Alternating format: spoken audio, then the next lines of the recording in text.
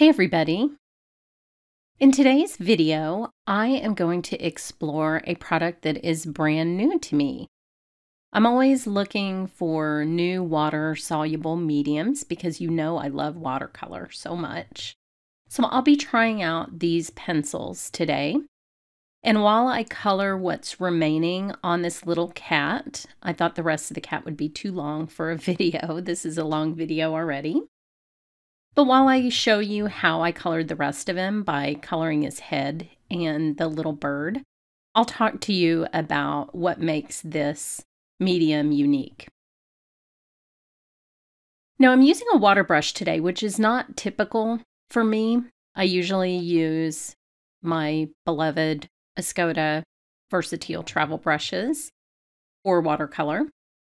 But when I'm using a medium that isn't actually watercolor, in this case, this is a water soluble graphite product. I don't use my watercolor brushes. That's not from anything that I know, that I know harm will come to my um, lovely brushes, but I just don't feel good about putting ink or other mediums onto those brushes. Now, when I use a water brush, though, I rarely put water in the barrel unless I'm doing a very water heavy technique. If you've seen any of my watercolor videos, you know that I really control my water. I almost paint with a dry brush, and you'll see me when I'm painting this. I start with a dark, good bit of pigment, and then I wipe both pigment and water off my brush to blend the color out into the lightest form that I have it in on whatever I'm painting.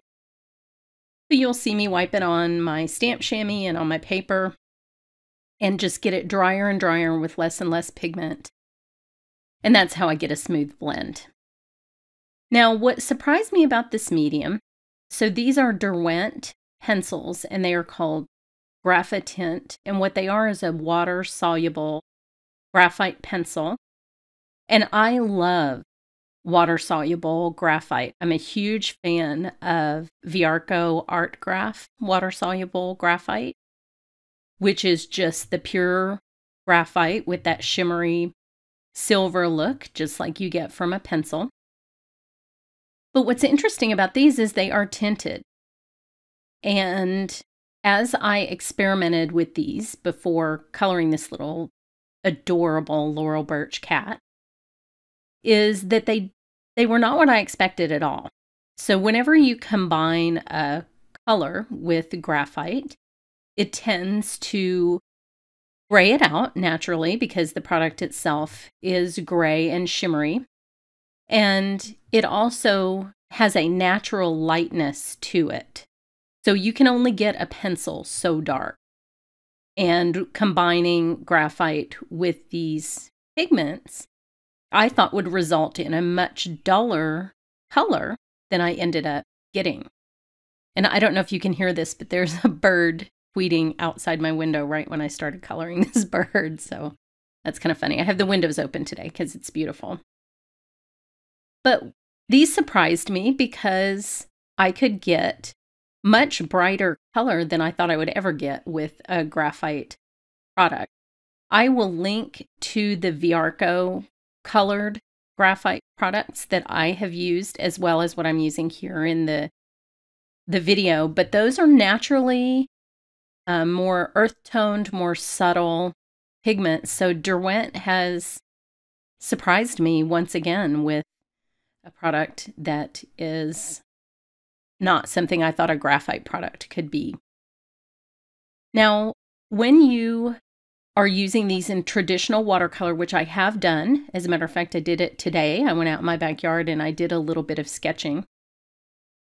When you use these pencils on the paper to compose your watercolor sketch, they are much more what I expected. When they lay down color directly from the pencil, they are subtler colors, less bright, less saturated. And then as soon as you activate them with water, that's where the color starts to pop out. So for plein air watercolor sketching, these are definitely going to be something that I bring with me when I travel. There are sets of 6 and 12 and 24. And I could see replacing traditional watercolor pencils with these because I like the sort of more neutral look that you get when you just do a sketch with them. And then you can selectively make colors pop by activating them with water. Now, you're only going to get that pop the first time that you activate them. And this is sort of similar to traditional watercolor pencils. You can only get so much solubility out of them that, that first time, and then they're sort of set. But these are extremely blendable, as you can see, where I've shaded the blue with the purple on this cat, and then also on the bird, I used purple. And here I'm shading with the black, which is surprisingly dark, again, for a graphite pencil that is about, in my mind, similar to about an 8B, just regular pencil. If you pick the pigment up directly from the pencil, as I'm doing here, you can get it quite surprisingly dark. Um, obviously, you're not going to get darks as dark as you would get from watercolor pigments, but it just, I mean, I don't know how many ways to say that it surprised me that I could get both this amount of color and the shadows that I got with the graphite. And to me, there's something very pleasing about working with graphite. There is the subtle shimmer. There's also the fact that it doesn't interfere with the colors that you're using because it's pretty neutral. And it has a softness about it that you know from pencils that makes it easy to blend. Now, as for the composition of this cat, I love this stamp. I got this stamp as a gift. And Laurel Burch's images are, I mean, completely irresistible. And so, what I wanted to do was make a blue cat, of course, because that's who I am. And as is my custom, I wanted the shadows to be purple or violet. That's very harmonious. And then I, for my red bird, which as you can see, it's not a bright, bright red, but it's pretty darn bright for graphite. I wanted a little bit of the colors from the cat in the bird. And so I used that yellow green as for some of the details. Look how cute that is. And then I also shaded with purple again to bring those colors from the cat into the bird. And while they're very different, make the whole sort of pleasing and related in color family. Now, because this is a wood stamp, you can see the stamp up in the right corner. Oh, hello, Maddie. Hi, Maddie. Maddie feels the need to be on screen a lot lately. I'm not really sure what that's about, but there's my little visitor. But because it is a wood stamp and I am using cold press watercolor paper from Fabriano, my favorite, Artistico Extra White, which I will link you to below.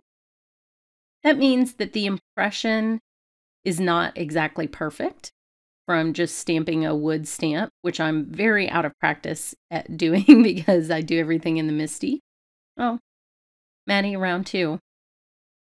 But that means that the ink isn't maybe perfect everywhere around this design.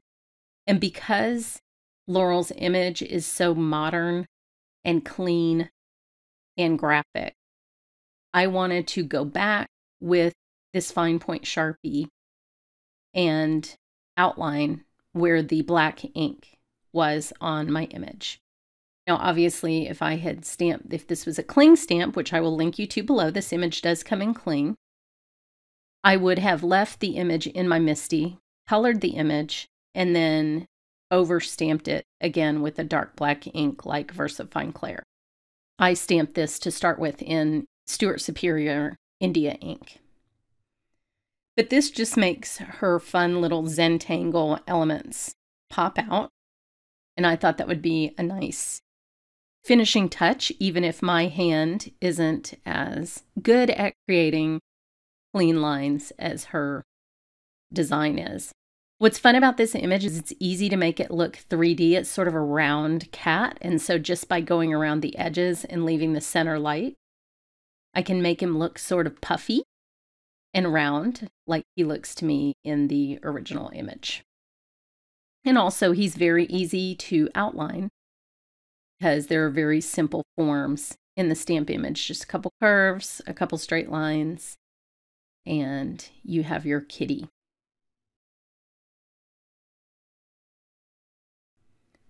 So I really enjoyed these pencils. They might be new to you too, in which case I strongly recommend giving them a try because it surprised me, honestly, how bright and pretty they are and how easy they are to work with. So I can add some new pencils to my already extensive pencil collection, and maybe you can too.